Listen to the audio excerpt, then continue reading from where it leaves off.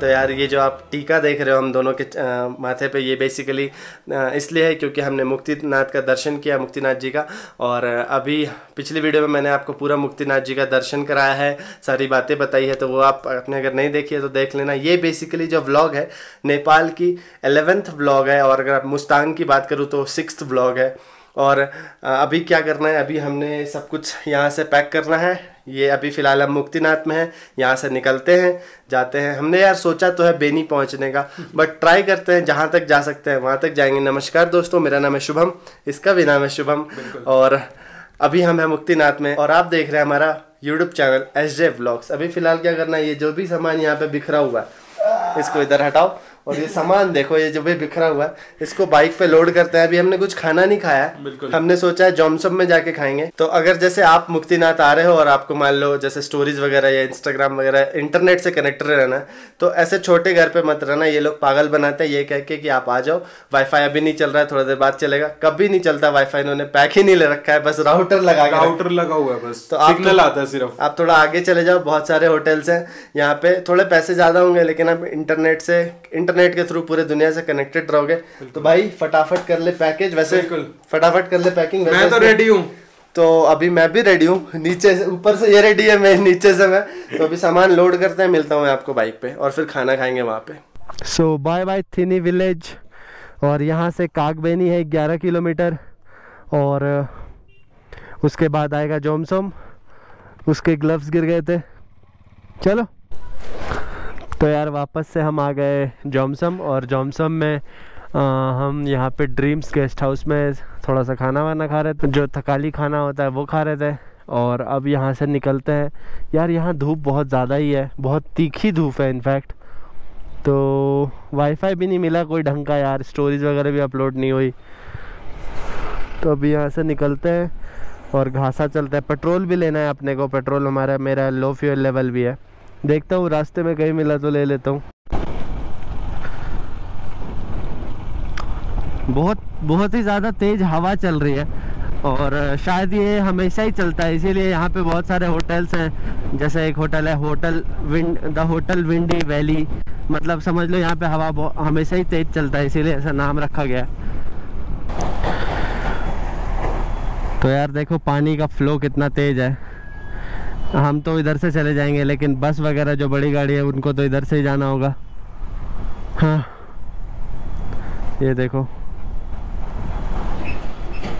और ये, ओए ओए ओए ओए ओए, कहाँ आ गया मैं? अपने को इधर से नहीं जाना है। क्या अपने को इधर अच्छा। तो यार वाटर क्रॉसिंग वापस से शुरू हो गई है। तो अभी मैं आपको perfect example of rain shadow area के बारे में बताता हूँ। देखो, ये जो एरिया है, जिस पे अभी हम बाइक चला रहे हैं, ये पूरा ही एकदम देख लो कितना धूप है और उधर देखो, उधर पूरा बारिश के पूरे चांसेस लग रहे हैं। मुस्तांग बेसिकली एक रेन शेडो एरिया है, जैसे लद्दाख है, स्पीति है, जहाँ पे पानी का एकमात्र ऑप्शन बर्फ़ पिघलने से होता है। लद्दाख में बारिश कम होती है, क्योंकि और बारिश कम होती है और जो पानी का जो भी सोर्स है, वो बर्फ़ से जो पिघल के पानी आता है, वही है। इसी तरह स्पीति भी सेम है और मुस्तांग भी सेम है। तो आप अभी जो मेरे सामने देखोगे ये देखो आगे कितनी बारिश की पूरी संभावना है देखो। जंगल? हिंदी हिंदी। इंग्लिश जाना मिलता है? कहाँ जाओगे? कैसे कहाँ बैठोगे? बैठोगे कहाँ पे? बैठोगे कहाँ पे? ऊपर। ऊपर। कहाँ बैठोगे? क्या नाम है तुम्हारा? हमारा असीम थकाली। हम्म? असीम थकाली। असीम? वो निकालो हम बुगेंगे अच्छा। और हम उधर चढ़ेंगे अच्छा हम भी गिरेंगे तुम भी गिरेंगे।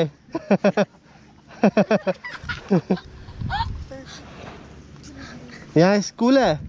हाँ। कहाँ पे? ऊपर। चलो। छुट्टी हो गया स्कूल में? या बंक मारा है? हाँ? छुट्टी हो गया? चलो बाय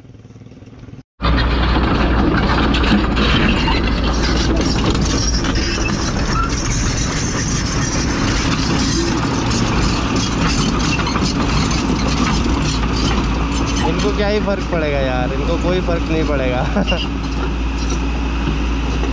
इनका उल्टा जो टायर होता है वो साफ़ हो जाता है। तो यार ये जो वाटर क्रॉसिंग है अभी तक के पूरे राइड की सबसे ज़्यादा बड़ी वाटर क्रॉसिंग है। आ,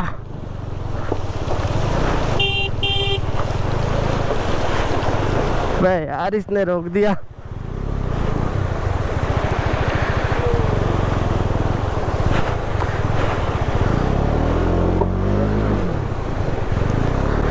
पानी चली गई भाई, फुलोन। इसने रोका नहीं होता तो मैं एक बार में निकाल लेता, पर कोई बात नहीं। हाँ। हाँ। ये। तो यार, जो बंदा मेरे साथ आ रहा था, पता नहीं उसके बाइक में क्या दिक्कत हो गई देखे ज़रा अगर हेल्प कर पाए तो। अब देखता हूँ पानी कितनी फ्लो में आ रही है। वोट अपन ब्रो ओ हो हो चेन टूट गया। तो भाई की चेन उतर गई है टूटी नहीं है। और यार पानी बहुत ज़्यादा है। You need any help no help okay then same to bro बीबी जी के जो ये बूट्स हैं जो मैंने पहने हैं राइडिंग पर्पस से बेकार है। आप गलती से भी ये बूट्स ना लें। आठ हज़ार रुपये आपके पानी में जाएँगे। कहाँ जाएँगे? पानी में जाएँगे। हाँ। तो अब बारी है पानी निकालने की।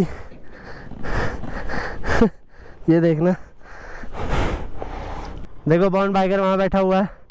कल हमने यहीं से राइड शुरुआत की थी कालो पानी से, और हम कालो पानी पहुँच चुके हैं ऑलमोस्ट यहीं कुछ देर में वो भंडारी होटल आ जाएगा, जहाँ पे हम रुके हुए थे। और उसके बाद से रास्ता, माशाल्लाह। तो लो यार, हम पहुँच गए कालो पानी। कालो पानी लेते और यहाँ से अभी पता नहीं क्या टाइम हो रहा है। टाइम मुझे एग्जैक्ट पता नहीं है। और मेरे बाइक का जो टाइम है वो गड़बड़ हो गया। तो अभी अपन जाएँगे घासा, वहाँ से पेट्रोल लेंगे, क्योंकि पेट्रोल हो रहा है ख़त्म। पेट्रोल लेना पड़ेगा अपने को। प्रहरी चेक पॉइंट अपने सवारी साधन की जाँच तथा मतलब जाँच कराए।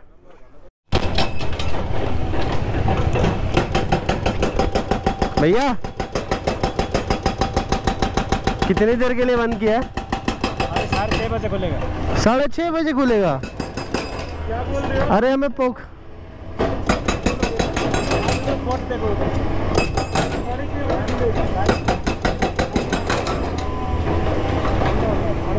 अरे हमें पोखरा जाना है। रास्ता बंद। तो यार यहाँ पे तो बहुत बड़ा ही के हो गया। है हम सोच रहे थे पोखरा पहुँचने का और ये कह रहा है साढ़े छः बजे रास्ता खुलेगा। मतलब तीन घंटे हमें यहीं रहना है। तो भाई यार रिक्वेस्ट करते हैं। यार हम घर पहुँच जाएँगे अपने यार ऐसे थोड़ी चार चार घंटे थोड़ी रुकता है कोई? अरे।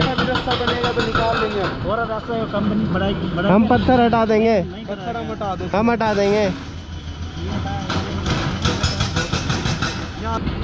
भाई साहब आप यहीं के हो? हाँ? पूछिए ये हमेशा का सीन है? ये हाँ हमेशा का ही सीन है चार चार घंटे रोक देते हैं। वो टाइम लगा रखा कल तो इसने साढ़े पाँच बजे पाँच बजे खोल दिया था। आज कह रहा ढाई बजे से लेके साढ़े छः बजे तक बंद रहेगा। अब अब बंद रहेगा। ये इतना ही नहीं है ना ये नीचे तक काफ़ी देर दूर तक है काम चल रहा है। वो तो ठीक है अब हम जैसे क्या करें चार घंटे खड़े गए। हमने तो पोखरा जाना था आज। तो आप आराम से पहुँच जाएँगे ना हम लोगों तो आप कैसे आए हो? हमारे पास जीप है बस है। तो बस और बाइक में डिफरेंस है ना? हम धीरे धीरे चलते हैं। दिन में चलना पड़ता है। आ रहे आप लोगों को ऐसा अब कुछ बोलने से फ़ायदा तो है नहीं। आप लोग यहाँ भी ऐसे क्यों टाइम वेस्ट करोगे? थोड़ा पीछे जाके रेस्टोरेंट में आराम से बैठ जाओ रिलैक्स करो चाय वाय पी लो। नेटवर्क भी उधर पकड़ लेता है यहाँ तो है ना हम तो बधे हुए हैं बस। नेटवर्क भी नहीं आ रहा ना। यहाँ नहीं आ रहा। थोड़ा वहाँ तक तो है। टावर भी नहीं पकड़। बड़ा ही बुरा सीन हो चुका है भाई लोग। मुस्तांग में तो बहुत गंदा फंस चुके हैं। एक यहाँ पे है, एक वहाँ पे है। बड़े बड़े पत्थर है यार। बात ये है कि बड़े बड़े पत्थर हैं। ये देख रहे हो? इतने सारे को क्लियर करने में बहुत टाइम लग जाएगा। तो अब अपने को करना यही होगा कि यहाँ पे कोई स्टॉप लेना होगा और इंतज़ार करना होगा शाम होने का। और साथ साथ में क्या से क्या हो गया? जालिमा, इसको कुछ करना पड़ेगा। वरना नेपाल में ही बाइक रोक लेंगे। सड़क निर्माण कार्य हुनछेछू हुंदेछू बिहाना साढ़े छः से साढ़े ग्यारह और ढाई से साढ़े छः bad luck bro bad luck कहाँ हमने सोचा था कि आज हम पोखरा पहुँचेंगे? क्या पता आप कहाँ पहुँचेंगे। अब हमें रास्ते में दो बंदे मिले। आपका नाम क्या है? सौगात। सौगत। आपका? दिवस दिवस। तो ये दोनों भी हमारे साथ जाएँगे अभी। हमारे चक्कर में ये भी मतलब हम लोग साथ में ही फंस चुके हैं। तो अभी साथ चलेंगे बेनी तक। तो यार फाइनली आफ्टर फोर आवर्स हम निकल गए हैं। शायद हम निकल गए हैं। शायद। यहाँ पे तो साफ़ है मामला। अब सबसे बड़ा चैलेंज ये है कि वो जो आ, स्लश वाली राइड थी वो अपने को रात में करनी होगी। चलो यहाँ भी फंस गए क्या? ओ भाई यार। यहाँ भी काम चल ही रहा है। आप लोग कहाँ से आए? नेपाल से। नेपाल में कहाँ से? तो यार देखो मैंने जैसा अभी बोला Nepali people are very helpful अभी मेरा ये टूट गया है। तो भाई ने कहा अभी मैं कर देता हूँ ये काम। कैसे करेंगे बट अब यार कैसे करेंगे वो ठीक है वो बात की बात है लेकिन भाई ने इतना एफर्ट लगाया यही मेरे लिए बहुत बात है। इंडिया होता तो कोई नहीं लगाता। दूसरा भी तोड़ देते। दूसरा भी तोड़ देते भाई बोलते नया लगेगा।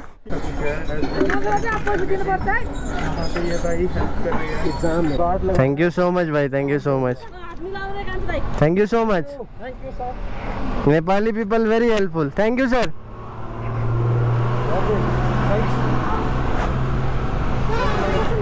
thank okay sir see you soon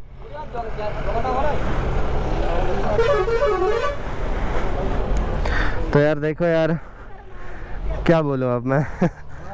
They are very helpful thank you so much Nepal okay तो आज के इस वीडियो में मैंने यहीं तक रखा है, क्योंकि आगे का जो कंटेंट था वो बहुत बड़ा हो जाता है। ऐसे तीस चालीस मिनट की वीडियो बनती तो मैंने इसको यहाँ पे काटा है। मैंने आपको पूरा आगे का जो सीन है, बहुत ही मैं आपको ये बताना नहीं चाह रहा, लेकिन बहुत ही डेंजरस सीन है। तो ये कल आप, जो वीडियो आएगी, आपको कल वीडियो में मिलेगी।